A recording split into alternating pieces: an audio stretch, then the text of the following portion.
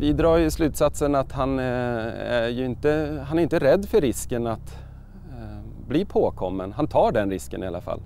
Den senaste tiden har det lilla samhället skakats av en överfallsvåg där kvinnor utsatts för olika sexuella övergrepp av en man som överrumplat dem bakifrån.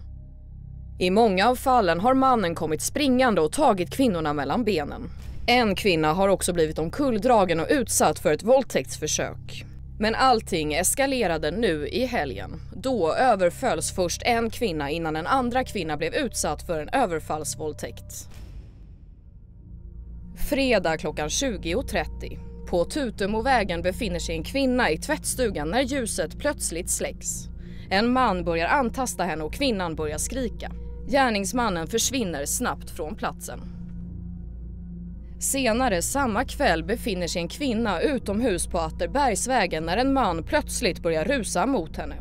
Men kvinnan springer in i ett hus och hinner låsa om sig innan mannen kommer i fatt.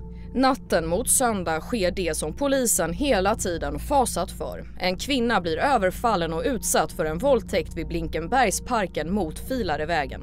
Vi, våra misstankar är ju att det är en och samma gärningsperson därför att det har utförts på ganska lika sätt vid de olika tillfällena.